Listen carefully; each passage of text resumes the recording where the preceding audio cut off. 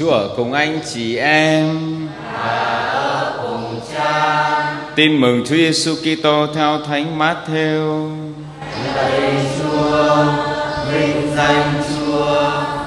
Khi ấy, các người phụ nữ vội vã rời khỏi mộ, tuy sợ hãi nhưng cũng rất đỗi vui mừng chạy về báo tin cho môn đệ Đức Giêsu hay.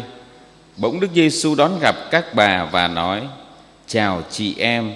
Các bà tiến lại gần người, ôm lấy chân và bái lạy người. Bấy giờ Đức Giêsu nói với các bà: "Chị em đừng sợ, về báo cho anh em của thầy để họ đến galile họ sẽ được thấy thầy ở đó." Các bà đang đi thì có mấy người trong đội lính canh mồ vào thành báo cho các thượng tế biết mọi việc đã xảy ra. Các thượng tế liền họp với các kỳ mục. Sau khi bàn bạc, họ cho lính một số tiền lớn và bảo: Các anh hãy nói như thế này: Ban đêm đang lúc chúng tôi ngủ, các môn đệ của hắn đã đến lấy trộm xác.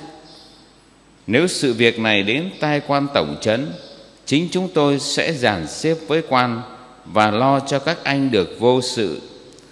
Lính đã nhận tiền và làm theo lời họ dạy. Câu chuyện này được phổ biến giữa người Do Thái cho đến ngày nay. Đó là lời Chúa.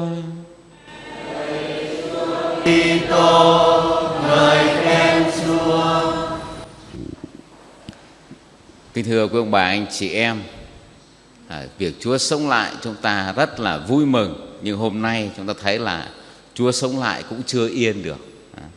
Khi mà Chúa sống lại thì lại có những cái vấn đề mới.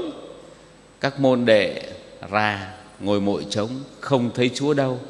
Và hôm nay các bà được gặp Chúa và Chúa bảo là về báo cho các môn đệ của thầy đến Galilee để gặp thầy ở đó. Trong khi đấy thì các thượng tế mới hoảng hốt bắt đầu che giấu sự thật. Hóa ra các ông giết lộn người, giết mấy đứa khác thì nó chết và dỗ mãn tang là hết. Nhưng mà giết nhầm Giêsu cho nên ông sống lại, thế nó có rách việc không? Bây giờ kiếm đủ cách để mà vá víu, để mà che lấp. Nhưng mà làm sao che lấp được? Vài bữa nữa ông lại đi oang oang, ông giảng ở ngoài đường cái kia. Thì làm sao mà ma có thể nói được như thế? Người chết có thể ăn uống như thế được. Thưa quý ông bà, anh chị em cuộc sống mỗi người chúng ta cũng vậy. Sự thật nó là sự thật. Còn nếu nó đã không đúng nó, nó không thật mà nó sai thì có gồng lên có vá víu đủ kiểu cây kim trong bọc lâu ngày nó cũng lòi ra. Và nó làm cho cuộc sống của chúng ta rất mệt mỏi. Có nhiều người cứ phải gồng lên sống có nhiều người cứ phải tạo ra mặc dù nó không thật. Để làm cái gì? Để oai để vui, có khi để lấy số, nhưng mà không, nó mệt lắm. Tới lúc ta hết sức, tới lúc mà sự thật nó lòi ra, mình ê chề lắm. Cho nên lời chúa ngày hôm nay mời gọi và cho thấy sự thật là sự thật.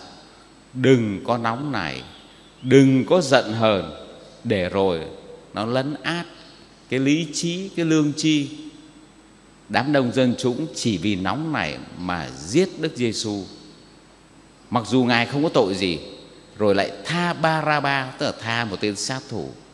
Và hôm nay khi Chúa sống lại, bắt đầu tìm mọi cách để che lấp, nhưng mà không.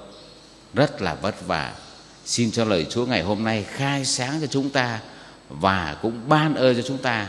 Chúng ta sống can đảm, sống với sự thật và sự thật sẽ giải thoát chúng ta. Amen.